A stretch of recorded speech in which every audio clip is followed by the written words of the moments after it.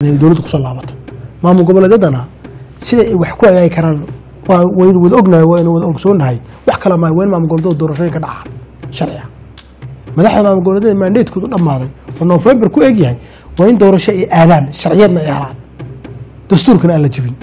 Nimankaa maamul goboleedyadu markay soo doortaan doorashadooda dhacdana dowladda u diyaar garowdo laba kun iyo lix labaatan bisha may madaxweynaha xasan sheekh maxamuud doorashadii lagu bedeli lahaa noocay noqon lahayd dalka waxaa madaxweyne ka ah maalintii isdooranayey madaxweynihii hore xasan sheekh maxamuud oo mucaarad ahaa oo xafladiisa calamashaarkana ka qayb galay.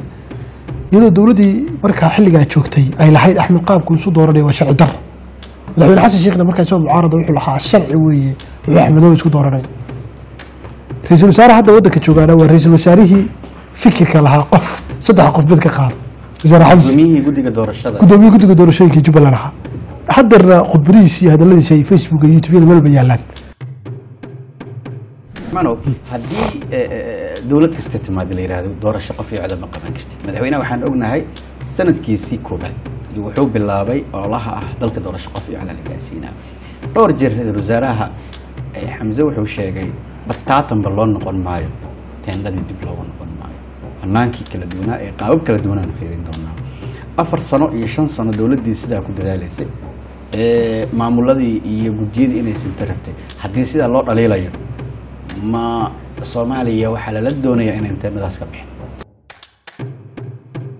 Dad aan loo yeerin siyaasiyiintii oo madaxda maamul goboleedyada aan dib laysugu yeerin oo dowladda federaalku usan tanaasul samayn madaxweyne xasan sheekh wax kasta uu isku dayo uma suuragelayaan maxaa yeele waxa laga hadlayo iyo waxa la isku yimi ba waxa waaqaca ku salaysan aan ahaynba madaxda maamul goboleedyada muddaxileedka ka dhamaaday oo madaxweyne xasan sheekh leeyahay muddaxileedka waa idiin kordhinayayo waqti baa idigu daraya. Si aynu doorasho qof iyo codo u qabanno. Dastuur baa la furay. Waxbaa laga bedelayaa baa la yiri puntland meesha way ka maqnay.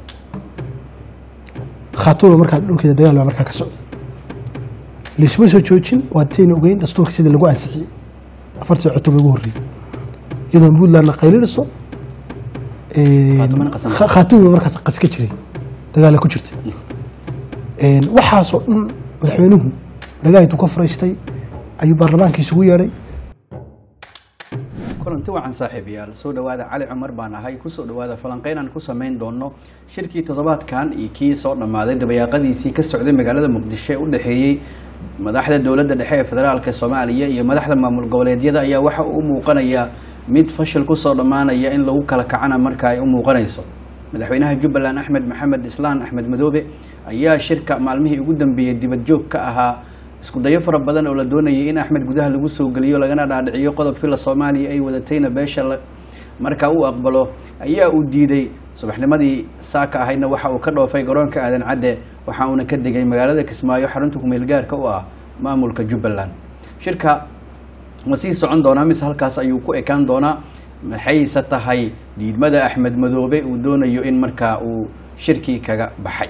Sidoo kale warar aan helnay ayaa waxa ay sheegaysaa in jubbaland axmed uu doonayo in doorasho dadban uu u diyaar garoobo bisha soo aadan ee november ka horna guddiga doorashada ee jubbaland horeyna uu u soo guddoomiyey. Ra'iisul wasaare xamse marka uu ku dhawaaqo. Waxaa shabeelle stuudio nala joogo aan marti qaadnay in uu nala falanqeeyo guddoomiyaha xisbiga shacabka gudoomiye cabdiraxmaan sulaymaan oo wax badan ka og arrimahan falanqeynta ah. Sidoo kale waxaan qodobkan ku eegi doonaa axmed waxyaalaha uu ku andacooday ah waxay qayb ka ahayd in haddii doorasho qof iyo hanaanka dalka laga hadlayo maamulada dibadda ku maqan gudaha la soo geliyo puntland ay qayb ka tahay maamulka kumeel gaarka ah ee s c khaatumo. Sidoo kale ay qayb ka tahay. Aad baan ku soo dhaweynayaa mudane. Waayahay shirka waxay u muuqanaysaa in uu fashil ku soo dhammaanayo inkastoo communike haddaan la soo saarin axmed sateg maxay u muuqanaysaa in shirkan uu ku soo dhammaaday cali waa mahadsan tahay shabelle horta shirku hadda waxaynu ognahay madaxdii dowlad goboleedyada ee dowladda federaalka. Maalmahan shirku u socday in wax badan aysan dadka iyo bulshada aysan ka qarsooneyn lagana wada dharagsan yahay waxaa shirka laysku hayey waxaa laysugu yimi. Walow marka horeba imaanshaha shirkan laysugu imaanayay uu ahaa shir waxaa ka horeeyey shir hore oo madasha iyo madaxweynuhu isugu yimaadeen. Oo arrimihii dastuurka iyo laga doodi jiray. Madaxweynuhuna maamul goboleedyada uu muddo korrin ugu sameeyey baa ka Puntland- horreysay. Puntland ay maqleen. Markaasaaba la arkayay dalku inuu dowladdu qardajeexa ku jirto. Madaxda maamul goboleedyaduna ay madaxweynaha waxaan soconayay. Ay markaasna maaragtay ku heshiiyeen marka shirka hadda maanta socdaha ee, madaxweynaha jubbaland uu ka baxay waa shir ummadda soomaaliyeed iyo cid kasta oo maaragtay fahmaysa xaaladda dalka ku jiray sida u socdaanba. Ay u cadaynayso in shirkan fashil ku dhammaaday. Ee, inta madaxda hadda isku hadhayn ay fashil ku kala tegayaan. Maxaa yeele waxa laga hadlayo iyo waxa la isku yimi ba waxa waaqaca ku salaysan aan ahaynba madax maamul goboleedyada muddaxileedka ka dhammaaday oo madaxweyne xasan sheekh leeyahay muddaxileedka waa idii kordhinayaayo waqti baa idigu daraya. Si aynu doorasho qof iyo cod u qabanno. Marka madaxdii maamul goboleedyada qaar ka mid ah waxay taagan yihiin madaxweyne adugu annagana maanan dooranay state baana lagu doortay iyo sharci iyo dastuur noo yaalla marka in adugana aad tirahdid waa idii kordhinaya de socod mayso sharcigii dastuurkii stateka baan taa tilmaamayn oo aan nafaray marka waa in anagu doorashooyinkayga qabsanaa?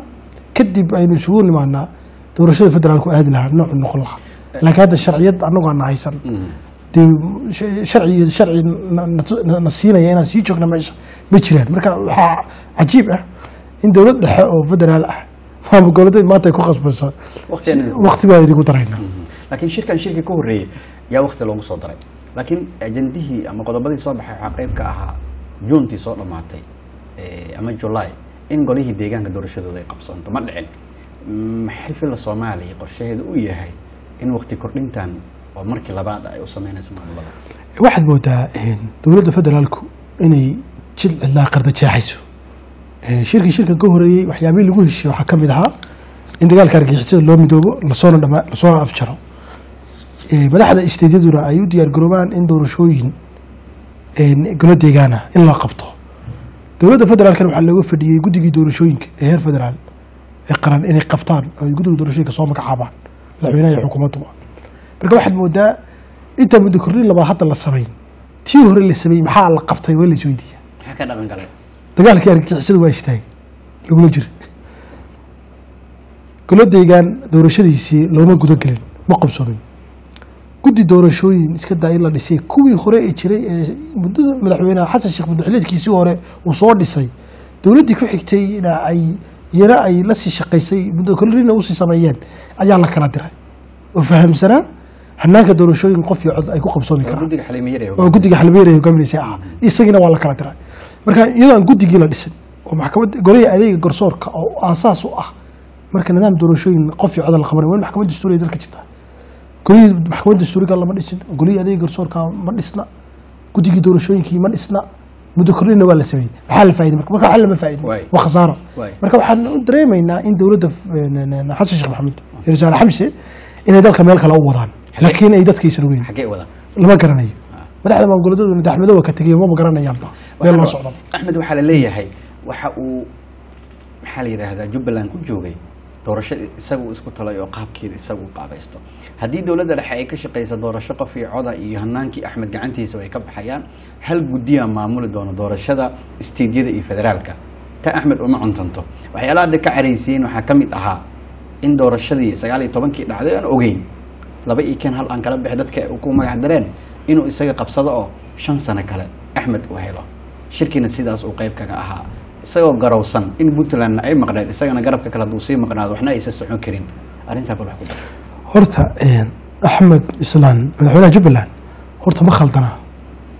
Dalka waxaa madaxweyne ka ah maalintii isdooranayey madaxweynihii hore xasan sheekh maxamed mucaarad ahaa oo xafladiisa calamashaarkana ka qayb galay. Iyadoo dowladdii markaa xilligaa joogtay ay lahayd axmed qaabku isu dooranaya waa sharci dar madaxweyne xasan sheekhna markaa isagoo mucaarada wuxuu lahaa sharci weeye wuxuu axmedow isku dooranaya ra'iisul wasaare hadda waddanka joogaana waa ra'iisul wasaarihii fikirka lahaa qof saddex qof bed ka qaado wasaare xamsi guddiga guddiga doorashooyinka jubbaland ahaa haddeerna khudbadihiisa iyo hadaladiisa ay facebook iyo youtubeyada yaalaan isagoo markaa leh jubbaland iyadaa doorashadeeda xor u ah iyo dastuurkeedaba cid ay mataqaanaa ka yeelayso ama cid soo faragelaysaa wa- wa- wa- wa- wa- waxba ka faa'idi mayso. Horta labadaa qofaa waddanka midna madaxweyne ka yahay midna wasaare ka yahay. Marka axmed inuu raggii shalay waxaana dhanba qaarna ku taageerayeen qaarna uba samaynayeen doorashadaas. Inay maanta xukunkii dalka hayaan. Uu ku yidhahdo ruuxan aad wadaan wixii aad waagii igu taageeraysay maa saxe waxaad hadda wadaan iyo qof iyo cod kale sax maahe waa sax. Waa wax moogta taariikhda isqorayso waay waaya midda Ah. kale axmed waxyaalaha uu shirka ku soo qaaday waxaa la sheegay inay qeyb ka ahayd haddii dalka doorashada iyo hanaan noocaasa laga hadlayo dee hala doono maamulada kale ee maqan oo puntland ay qeyb ka tahay. Waxyaalaha la soo hadal qaadana s c khaatumo oo gudoomiye cabdiraxmaanow adiga laftirkaaga halkaas maxaa la yidhaahdaa qoondada siyaasadda markii laada ka soo gasho. Marka ma ma ma ma u muuqanaysay ama ma tahay loo qaateen ee, maxaa la yidhaahdaa soo jeedinta axmed ee ah in puntland iyo khaatumo miiska soo fadhiistaan waa sax horta marka masiir ummadeed laga hadlayo waa in ummadda soomaaliyeed oo dhan dadka siyaasadda ku matalay wayna u dhan yihiin. Waraysigii marka horan ku sii bilowday nidaamkan hadda socda marka hore qardajeex lagu bilaabo madaxweyne xasan sheekh wuxuu keenay siyaasad la yidhaahdo loo joojin maayo. Lehe laysu joojin maayo. Dastuur baa la furay waxbaa laga bedelayaa baa la yidhi puntland meesha way ka maqnay khaatuuna markaa dhulkeeda dagaal baa markaa ka socday laysuma soo joojin waa tayna ogeyn dastuurka sida lagu ansixiyey afartii cutub ugu horreeyey iyadoo puntlandna qaylinayso khaatuuma markaas qas ka jiray. Dagaala ku jirtay. Een, waxaasoo dhan madaxweynuhu dhagaha intuu ka furaystay ayuu baarlamaanka isugu yeedhay. Baarlamaanka xildhibaanadii nin walba ninkii wax la siin karay ninkii la caburin karay ninkii wasiir laga dhigi karay ninkii waad ogtaa xukuumadaha xitaa in isbeddel lagu soo wasiirra lagu soo kordhiyey heshiisyadaasoo dhan waxaa loo sugay dastuurka indho la'aan in lagu ansixiyo waa la ansixiyey iyadoo markaasi maamulkii hooyada federaalka ee puntland iyana ay meesha ka maqan tahay. Waa tii isku dudub lagu ansixiyey maamul goboleedii markaa intii isla joogtay wixii ay ku heshiiyeen iyana intay wixii ay ku heshiiyeen iyana fulinteedii may sii aanba qaadin barteedii bay dhigeen. Iyagoo waxba la dhaqaajin ba laysu yimi intii shalay markaa wax ku heshiisay haddana maamul kale oo jubbaland la yidhahdo isna ku gacan sayday oo meesha ka baxay marka waxay kutusaysaa madaxweyne xasan sheekh maxamed oo lagu tuumayey waayo aragnimo. Shan sano mucaarada afar sano lix bilood dalka madaxweyne ka soo ahaa hadda markiisii labaad la soo door dib loo soo doortay. In wixii dalka uu soo maray uu maarata waayaare ka yahay wax badanna uu ka bartay la rabina dadka soomaaliyeed kowba inta markuu hawsha bilaabayba inuu soomaali isugu yeedho ku qanciyo dalku meesha uu jehinayay meesha uu aadayo laakiin dalka keligii macalin iyo keligii mataqaanaa hogaamiye. Ha. soomaali ma ma ma ma ma ma- ma- kama dhex soconayso maqnaashihii hore ee puntland ay maqnayd s c waaba ku milgaar oo labadii sane hadda ay- ay qeyb ka mid a soo qaadanaysaa. Jubbalandna hadda waa baxday. Xasan madaxweynaha maxaa la gudboon ma shirka inta sii wado oo koonfur galbeed aan ogeyn sida lagu keenay. Maalmihii hore laftirkeeda waa diidanay oo maxaa la yidhahdaa wufuud kala duwan. Madaxweynaha uu diray baydhabo si eh, cabdicasiis laftigare loo keeno. Eh, ma koonfur galbeed iyo galmudug hirshabelle ma madaxweynaha shirka u sii wadi doonaa? Mise inta la hakiyo waxaa la samayn doonaa in eh, eh, eh, maamulada kale dib loo soo celiyo oo aan kugu dara eh madaxweyne siciid deni shirkii ku soo dhammaaday? Eh, cilmi baarista ee garowe waxa uu ka sheegay in puntland diyaar u tahay in la wada hadlo dadka siyaasadda falanqeeya waxay ahayd waxaa la yidhi shirkan wadatashiga ma ahayn inuu furmo eh. Baaqii madaxweynaha puntland madaxda dowladda dhexe waa inay ka jawaabaan ee la soo jijiido. Shirkanna in uu furmo siciid deniyo goobjoog ah. Bal wax ku dar. Eh, waa su'aal fiican. Horta madaxweyne saciid cabdullaahi deni maalin dhaweyta wuu hadlay. Wuuna garnaqsaday wuxuu yidhi aniga iyo dowladda federaalka soomaaliya meel babliga hana loogu garnaqo kaayaga khaldan. Madaxweyne xasan sheekh jawaabtii laga sugay wuxuu ka dhigay in gruub xisbi ahaayo. Saciid cabdullaahi deni mucaarad ku ahaa. Inuu xilal u magacaabo oo la taliyayaal ka dhigo. Magacaabitaankaas markaa waxay tusaale u ahayd madaxweyne xasan sheekh waxa uu ku wajahaya puntland. Inaysan ahayn hab nabadeed ay tahay inuu puntland la dagaalamo. S c khaatimo laftigeeda oo puntland hore uga tirsanay haddana maamulka ee, dadka deegaanku ay maaragtay iskoodu madax banaan maamul u dhisteen. Iyada laftigeeda dowladda federaalku xubnaha halkan u jooga iyagoo adeegsanaya ayaa waxay ka wadaan qas runtii aan dadka deegaanka iyo soomaaliba aan u wanaagsanayn. Marka madaxweyne xasan sheekh waxaad moodaa puntland iyo khaatimaba inuu ugu talagalay in rag siyaasiyiina uu adeegsado la qaso. Marka uma malanaya halkaa xal wanaag ah oo waawaan ah in madaxweyne xasan sheekh ku wajahay. Marka sida hadda marka wuxuu muuqdaa waxaa weeye madaxweyne xasan sheekh hadda shirkan hadda inuu joojiyo usan sidan ku soo usan ku sii wadin soomaalina isku do- isla doono. Dalkan madaxweyne xasan sheekh waad ogeyd odayaashiinu idinkaa wareejyada ka duwaya saamiley siyaasadeed baa nahay buu ku dagaalami jiray. Raggii mucaaradka ugu maaragtay ugu socodka iyo orodka badnaa buu ka mid ahaa. Dalkan haddaan madaxdii saamileyda siyaasadda aan loo yeerin siyaasiyiintii oo madaxda maamul goboleedyada aan dib laysugu yeerin oo dowladda federaalku usan tanaasul samayn madaxweyne xasan sheekh wax kasta uu isku dayo uma suuragelayaan maxaa yeelay hore isagaa u soo tijaabiyey dowladdii ka horreysay. Waxay rabtay way suuro gelin kar weyday waxayna ka suuro gelin kar weyday maamul goboleedyadii iyo madaxda mucaaradka markaa ee siyaasiyiinta ah.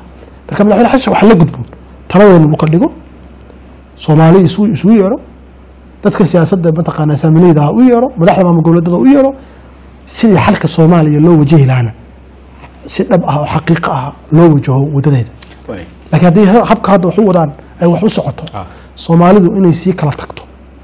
Mooyaane soomaalidu isuma soo dhowaanayso madaxweynaha soomaaliya doctor xasan sheekh maxamedna waa waayo arag siyaasadeed buu ahaa. Qaabkan qardaje ahaana qaab soomaali ay ku sii joogi karto. Ma waan ognahay cabdicasiis lafti galeen madaxweynaha koonfur galbeed wixii ku dhacayay wasiir dhan oo wasiirka difaaca ah baa positive facebook soo qoro madax maamul madax dhan oo maamul goboleed ka aflagaadeynaya oo siyaasiyiin ka maagaya waa wasiirka gaashaandhigga soomaaliya ee deegaan ahaanna ka soo jeeda ee koonfur galbeed. Siyaasad ahaanna is hayaan. Oo haddana xasan sheekh wasiir u ah. Agaasimayaal dowladda ka tirsan ayaa dad reer dad reer koonfur galbeed oo soomaali ah ku eedeynaya ama ku maagayay dhaqankii xumaa ee lalahaa dad etoobiyaan askarta etoobiyaan ku dhaleen baa ummad dhan oo deegaan ku nool state ah in lagu aflagaaday wax. Aan welina xilaalka laga qaadin marka dowladda madaxweyne xasan sheekh maadhowta masaajidka madaxweyne wuxuu ka lahaa aana dadkaasi ma matalaan madaxweyne xasan sheekh wax looga fadhiya hadalka masaajidka iyo hadalka dhabta u aaminsan In yahay inay iswaafajiyaan. Ah. dadkaasna uu tallaabo ka qaado. Ah. Runtii wasaare xamza xukuumaddiisa xukuumaddu way fashilantay. Siyaasiyiin ba u fashilantay oo de wax kasta oo hadda tusaale dagaalka argixisada ku fashilantay waa dagaalankii doctor ciidanka xoogga dalka soomaaliyeed meelo badan bay ku jabeen inkastoo ciidanka ilaahay khayraad siiyey weli difaacyadooda ay ku jiraan. Diyaarna u yihiin moral loo hayaan inay dhulkii xoreeyaan nimankana iska dhiciyaan. Laakiin dowladdii siyaasad xumadeedi baa caqabadii ka taaganta xukuumadda waa ku fashilantay in guddi doorashooyin ay dhisaan xukuumadda waa ku fashilantay diyaarintii maxkamadda dastuurigana way ku fashilantay isku hayntii maamul goboleedyada iyo arrimihii gudahana way ku fashilmeen maantana ceebta taagan waynu aragnaa. Marka waxaan anigu madaxweyne xasan sheekh maxamuud iyo labada gole ee baarlamaanka aan kula talin lahaa. Xukuumaddan wayna meesha ka baxdaa xukuumad cusub iyo ra'iisul wasaare cusub in waddanka la helaa soomaalina isla baadi doona Waay. isla raadi. waa xalka keliya ee lagu aadi karo doorasho is-ogol ah oo teennada ka dhacda. Mhm. waayahay Eh, middan puntland eh, jubbaland sida saansaanta hadda xogaha hoose shabeel aan helayno eh, november wax naga xiga waa octoobar haddaan tallaabada dowladda dhexe ay qaadi doonta haddii axmed sidii hore guddigii doorashadii uu magacoodo doorashana puntland ay ka qabsoonto. Jubbaland. Maxaa looga fadhiyaa dowladda dhexe? Horta dowladda dowladda dhexe hal waddo ma u furan. Waa soomaali laysla doono. Waxa maamul goboleeda waxa ay qabto dowladda federaalka waa inay ka tanaasushaa muddo karri baa maamul goboleeda u samaynaynaa. Madaxda maamul goboleeda sii joogto. Doorasho qof iyo codaa la aadaya albaabkaas oo dhan in dowladda xidho jidka saxda ah inay dowladda ku soo laabato maamul goboleedyadana sida ay wax ku hagaagi karaan waynu wada ognahay waynu wada ogsoonahay wax kala maayo waa in maamul goboleedyada doorashooyin ka dhacaan sharciga madaxda maamul goboleedyada mandatekoodu dhammaaday oo november ku egyahay waa in doorasho ay aadaan sharciyadna ay helaan dastuurkana aan la jebin nimankaa maamul goboleedu markay soo doortaan doorashadooda dhacdana dowladda u diyaar garowdo laba kun iyo lix labaatan bisha may madaxweynaha xasan sheekh maxamuud doorashadii lagu bedeli lahaa noocay noqon lahayd laakiin waxaas intay dowladdu ay leedahay maamul goboleedaha sii joogay muddo korri baan samaynayna qof iyo cod aan lays- laysla ogolayn baan baan baan dalka ka hirgelinayna. Oo meel ay ka dhacaysa aan la ogeyn. Waxaa taasi leenahay dowladdu weli jid qartajaaxo jirta xal looma yaal. Dowladda xalka u yaalla waxaa weeye waa in maamul goboleedyaduna isla doonto xukuumad tayo lah oo dadkan samata bixin karta dalkan. Qodobadaa yaalla ee qabyadaana dhamaystiri karta wayna meesha timaadaa. Laakiin xukuumaddan ragga ka wada tirsan ay wada cadhaysan yihiin. Dagaalna ay kula jiraan madaxda maamul goboleedada ya u malaymaayo dalka inay meel wanaagsan u horseedayso. Gudoomiye cabdiraxmaanow haddii eh, eh, dowlad kasta timaada la yidhaahdo doorasho qof ma qaban kartid. Madaxweynaha waxaan ognahay sanadkiisii koobaad wuxuu bilaabay ololaha ah dalka doorasho qof codaan la gaarsiinaa. Dhowr jeer ra'iisul wasaaraha eh, xamse wuxuu sheegay bataatanba loo noqon maayo teendhadii dib looga noqon maayo. Hanaankii kala duwanaa ee qaabab kala duwanaana fiirin doonaa afar sano iyo shan sano dowladdii sidaa ku dadaalaysay maamuladii iyo guddiyadii inay sinta rabtay. Haddii sidaa loo dhaliilayo ma soomaaliya waxaa lala doonayaa inay teendhadaas ka bixin? Su'aal fiican weeye. Horta dowladda hadda joogtahay. Madaxweyne xasan sheekh maxamed xisbi u b d la yihahdo guddoomiye ka yahay buu ka ahaa xilligaas. Dowladdii tan ka horreysay. Annana watiyaa xisbiyadii shahaadada kumeelgaarhka qaatay baanu isku mid ka ahay waxaan u ololeynayna dalka in doorasho qof cod ay ka dhacdo. Dowladdii hore in doorasho qof cod la qabto way ka gaabisay madaxweyneedkii xasan sheekh maxamuud xilligiisii ayaa sharcigii xisbiyada la ansixiyey. Dowladdii dambe xisbigii sharcigii doorashooyinka sharciyo aan suuragal ahayn ayay yidhahdeen doorasho qof iyo codaa lagu aadayaa iyadoo marka iyagu siday ula quban tahay u qadajeexay iyana watay suuragali weyday mucaaradka madaxweyne xasan sheekh ka mid ahay ugu waaweynaana watay ka soo horjeesteen qof iyo cod haddana inagoo xisbiyadii kumeelgaarka ah shahaadada u haysana. Habeen iyo maalin idaacad baan taagnayn in qof cod la aado. Laakiin mucaaradkii markaa jiray nagula aragtay ma ahayn in qof cod dalku uu aado. Dowladda xilligaa joogtayna aad bay uga gaabinaysay wadogeed watii ra'iisul wasaarihii madaxweynuhu isku qabteen. Watii ra'iisul wasaare kale xukuumaddiisa meesha timi. Doorashadii foosha xumeeda dadbaneeda baabka hayna. Aynu aadnayna waad garanaysaa foolxumadeydii halkay nala martay. Madaxweyne xasan sheekh maxamuud markuu xukunka yimi waxaan ka sugaynay guddigii doorashooyinka hore shaqaynayey in wixii lagu dari karaa lagu daro halkaana shaqada laga sii anba qaado. Muddaxileedkiisii koowaadna ee sannadkii ugu koowaadna uu ka shaqeeyo in madaxda soomaalida uu iskugu yeedho laguna heshiiyo macal saamiladii siyaasadda in nidaam qof iyo cod ah la aado. Waa ognahay siyaasiyiinta buu yeedhay ee mucaaradka ahaa iyo raggii dalka soo xukumay wuxuu kala kulmay hotel dikaale madaxweynuhu shir buu ku qabtay. Inuu laba maalmood socday baan u malaneeyo saan rajeynaya shirkii nimankii ka qayb galay siyaasiyiinta ahay maray idaacado ee waraysi ka bixiyeen aan dhegeystay waxay sheegayeen iyo rag badan oo aan shuraysan. Madaxweynuhu wuuna dhegeystay wax allaale waxaan u sheegnay oo dhan wax kaga duwan. Buu la ka mid tahay dastuurkii in- la farageliyo wax kabedel lagu sameeyo waxaasoo dhan heshiis kumay ahayn. Madaxweyne markaa si isagu ula quban tahay buu horta tallaabo u qaaday. Guddigii doorashooyinka kala diray. Dastuurkii arrimihiisii uu furay maamul goboleedyada iyagoo qaylinaya qaar puntland ay ka mid tahay isagoo aan dhegeysanayn hawshiisa sii watay masaajidka wuxuu ka yihi cid aan u joojinayo iyo cid aan dhegeysanayo ma jirto dastuurkan waan dhamaystiraya waan iska garan karnaa xildhibaanada labada gole habka lagu soo xulay oo de waan dareemeynaa waan runtii aada uga xumaaya xildhibaanadu inay sharafkii iyo karaamadii golo shacab lahaa ay hoos u dhigeen. Golo dhan oo madaxtooyada wixii ka soo baxa loo yeerinayo habeenkii la jarmaadaya wasiir iga dhig iyo hebel xil iigu magacaaw qiyamkeedii qadiyadeedii noqotay. Waa nasiib darrada soomaaliya haystaa qey- qeybo ka mid ahaa weli taagan oo- ka soo horjeeda qaabka ay wax u socdaan qodobada kuwii hore uu ansixiyey baa khatar dalka ku ahaa. Afartii qodobood. Kuwan hadda la wadana waa sidoo kale waa yaro khatarteeday sii leedahay. Marka waxaa la rabaa waxa weeye doorasho qof cod xasan sheekh maxamed madaxweynuhu iyo xukuumaddiisa xamse ra'isul wasaare xamse diyaar ahayn inay qabtaan iyo inay hirgeliyaan. Waxaa kaga sii daran xeer baa xisbiyada ah iyo xeer doorashooyina baa labada eh, go- golaha fulintu ra'isul wasaaruhu habeen maalin inta ansixiyeen madaxweynuhu suu sheegay waxa weeye laba xisbi ayaan qaadanaynaa bi maamul goboleedyadana waagii ku khasbay in laba xisbi dalku u aado. Sharciga hadda xukuumadda ansixisay xisbi axsaabta iyo sharciga doorashooyinka waxaa ku qoran in hadda iyo kow xisbiyadii hore shahaadada kumeel gaarka haystay boqol iyo xoogaa gaarhayay in la baabiyo xisbiyo cusub hadda la diiwaan geliyo. Oo intee dhan weli lama weli may- jaangoyn laakiin madaxweynuhu laba xisbi madaxweynaha labada xisbi waxay ahayd soo jeedin golihii wada tashiga qaatay laakiin waa tii la diiday oo mucaaradkii madaxweyne shariif iyo xasan khayri lala fadhiistay oo la yidhi waa la kordhin karaa. Tirada waa la kordhin karaa. Weli weli madaxweyne xasan sheekh intuu tv-ga soo istaagay weli kama u fikirka ah in xisbiyadu furayo wuxuu taagan yahay laba xisbi. Marka eh, marka wixii dhanba hadduu laalaabay xisbiyadii u b d oo laba oo xisbiyadii la diiwaan geliyay ka mid ahayd oo annagana la midka ahaa. Maanta markii xukunka timi haddii annagina na baabiyeen haddana ilaa waxaan ku fikirnay in xisbiyadii aanu baabino oo xisbiyo cusub magacawno keliyiin annaga keliya aan go'aanka qaadanayna halkaas waxay kaga muuqataa in doorasho sax ah oo qof fiican dalka loo socon soomaaliyana nidaam doorasho qof fiican si ay ku hirgeli karto. Ah. wax kale maaha. Waa madaxweyne ka tanaasula damaciisa siyaasiga ah.